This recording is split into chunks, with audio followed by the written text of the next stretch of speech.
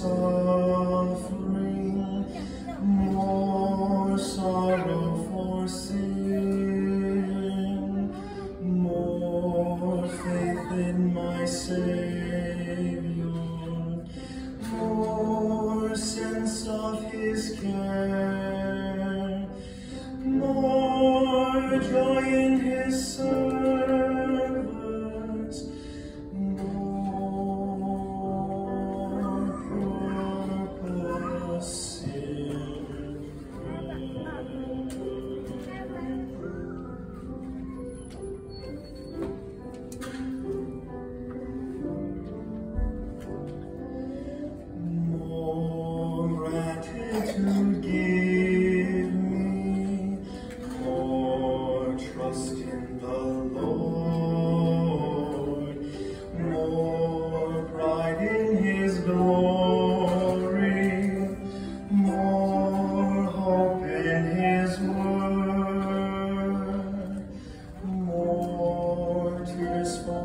so